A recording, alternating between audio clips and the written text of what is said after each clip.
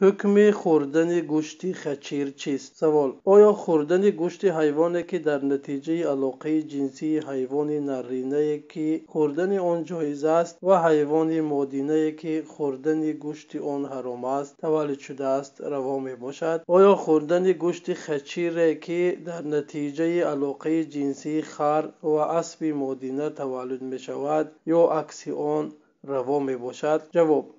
Ҳамду сано ба парвардигор. Ҳайвоне ки аз ду ҳайвоне ки ҳукми онон гуногун аст таваллуд мешавад дар ҳукм тобеи ҳайвони ҳаромшуда мебошад. Хоҳ он ҳайвони ҳаромшуда наррина бошад ё модина баъзе донишмандон бар инанд ки ҳайвони дурага тобеи модараш мебошад агар модараш аз ҷумлаи ҳайвоноти ҳаромшуда бошад он низ мисли модараш ҳаром мебошад агар модараш аз ҷумлаи ҳайвоноти ҳалолшуда бошад он низ мисли модараш حلول می باشد کتاب الموسوعه الفقهیه جلد 5 صحیفه 146 پس آن حیوانی که از دو نمود حیوان تولد می شود که یکی از آنها حرام و دومی حلال است یکی از نمودهای این نمود خچیر می باشد شافعیان و همبلیان گفتند хачир ва дигар ҳайвоноти дурага тобаи ҳақиртарини яке аз ду асли худ мебошад. Далели он дар ин сухан ҳайвони дурага тобаи ҳақиртарини яке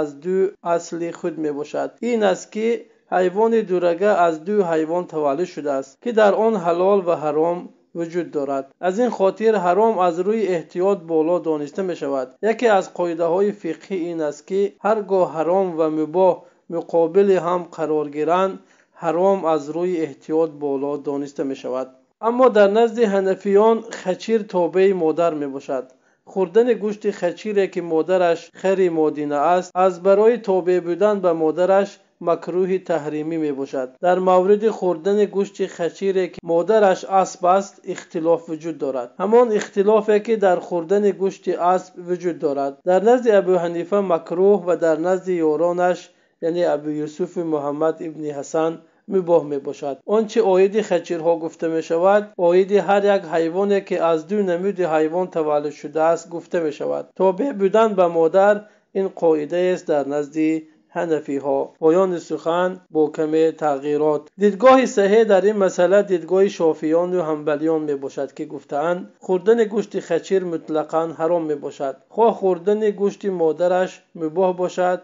Ё ҳаром бошад. Далели ин умуми ҳадисест ки дар сунани абу довуд аз ҷобир ибни абдуллоҳ разиаллоҳу анҳу ривоят шудааст ки мегӯяд дар рӯзи хайбар асп хачир ва харро заб кардем. Паёмбар сал аллоҳ алайҳи васаллам моро аз хӯрдани гӯшти хачиру хар манъ намуданд вале моро аз хӯрдани гӯшти асп манъ накарданд. Ҳадиси саҳеҳ дар китоби саҳеҳи сунани абу довуд омадааст. Ибни қудома раҳматуллоҳи алайҳ гуфтааст хачир яъне хӯрдани он дар назди ҳар як касе ки хари хонагиро ҳаром гуфтааст حرام می باشد زیرا آن از خر تولد شده است. حیوانی که از حیوان حرام تولد می شود حکم آن هم حرام می باشد قتاده گفته است خچیر پوره از خر است. از جابر رضی الله عنه روایت شده است که گفت حدیث سابق را ذکر نمود. پایان سخن از کتاب المغنی جلد 9 صفحه 326 الله سبحانه و تعالی داناتر است.